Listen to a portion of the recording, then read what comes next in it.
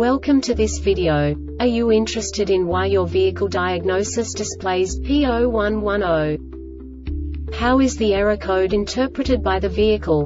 What does P0110 mean, or how to correct this fault? Today we will find answers to these questions together. Let's do this.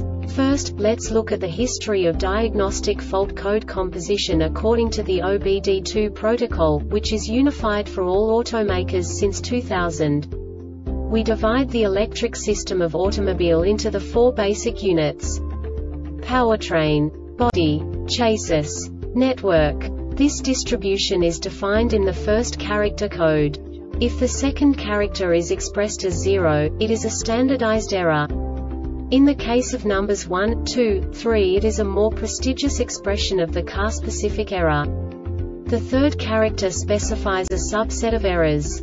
The distribution shown is valid only for the standardized DTC code. Only the last two characters define the specific fault of the group.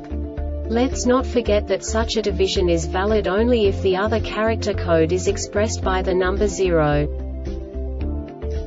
Our website airbagreset.sk produces useful videos for you. You do not have to go through the OBD2 protocol anymore to know how to troubleshoot any car breakdown. You will find all the diagnostic codes that can be diagnosed in a Infiniti vehicles. Also many other useful things. The following demonstration will help you look into the world of software for car control units. You unbelievably can move the video a bit further. The error code is split into two bytes consisting of 16 bits. One bit is the basic unit that each computer works with. The bit has two logical states. 0, low level, 1, high level. By combining the first two bits, the basic character of the error code is expressed. The next two beats again determine the second character. The last beat styles of the first byte define the third character of the code. The second byte is composed of a combination of 8 bits. The first 4 bits determine the fourth character of the code. And the combination of the last 4 bits defines the fifth character. A single byte conceals 256 possible combinations. We now know in what way the diagnostic tool translates the received information into a more comprehensible format. The number itself does not make sense to us if we cannot assign information about it to what it actually expresses. So, what does the diagnostic trouble code P0110 interpret specifically, Infiniti car manufacturers? The basic definition is lost communication with the engine control system.